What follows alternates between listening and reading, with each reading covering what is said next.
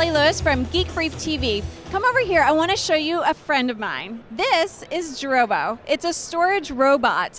And I'm really excited about this because I do a lot of video and I have a lot of data, so I need a lot of storage. So this thing is amazing. I'm here with Tom.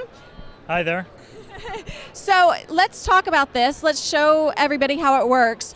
This is a magnetic cover, yes? Absolutely. And it just flips right off. So tell me what's inside. So the Drobo is basically just a big hard drive enclosure that can take up to four hard drives, and it pulls them together and keeps your data safe, and it's always expandable. And it really, the key is it doesn't require any user interaction or anything complicated. It's as simple as can be. Okay, and so we have three lights basically with Drobo, right? Green, yellow, red. Just like a stoplight.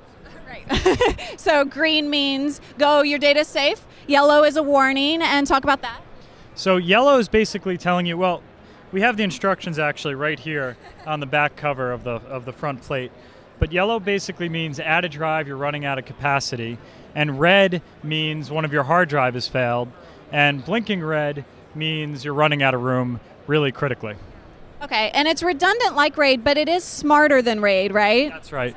We set out when we designed Drobo to account for a lot of the deficiencies in RAID, which basically means it's too complicated for your typical prosumer or home user or small business without an IT staff. So Drobo doesn't have any of the typical limitations or rigidities associated with RAID. So I can buy any hard drives I want, any make, any side, pop them right in there. I can put them in different order. There's just all these benefits that we have over RAID so it's much much simpler for for the consumer to use uh, basically all they have to do is put drives in and pay attention to the lights so when they need to replace a drive they put one in uh, and when one fails they replace it so let's uh, you want to simulate a hard drive failure Absolutely, that's the most fun part. That is the most fun. You know what? It, it's only fun when you can do something dangerous and you know that it's not going to destroy anything. That's right. I sleep better at night knowing I have all my data on a Drobo. All right, so let's do that. You're just going to pop out a drive and hot swap? Sure. So on a screen behind us, we've got uh, a video playing directly from the Drobo, and this is simulating a typical experience that a user may have, um, keeping their videos or iTunes music or something like that on their Drobo. So I'm just going to pick any drive. It doesn't matter which one.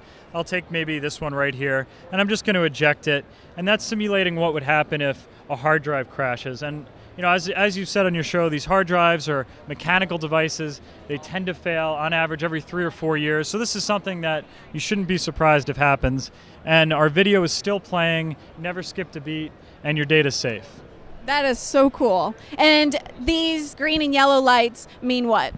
So the the Drobo is what we call data aware. So it it well, it's not self-conscious or anything like that. It's it's pretty close. Can it talk to us and think for us? hopefully next year at Macworld. I'm just kidding. But we, we do have uh, some lights on here. These tell you about the status of your drives. So this is telling you Drobo's doing something right now. It's relaying out your data in the most efficient and safe way possible so that your data is always protected.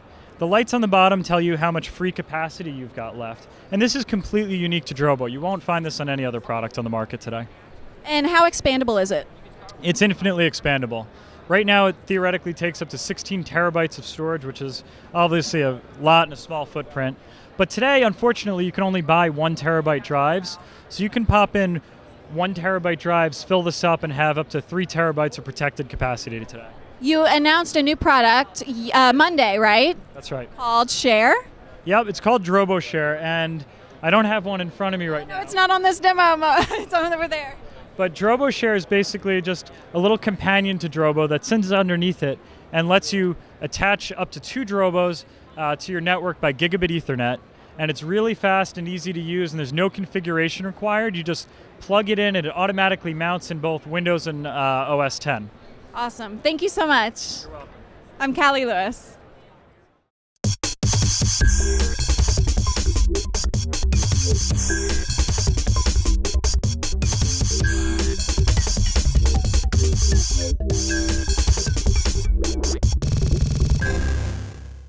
Bandwidth for MacBreak is provided by CacheFly at C A C H E F L Y dot com.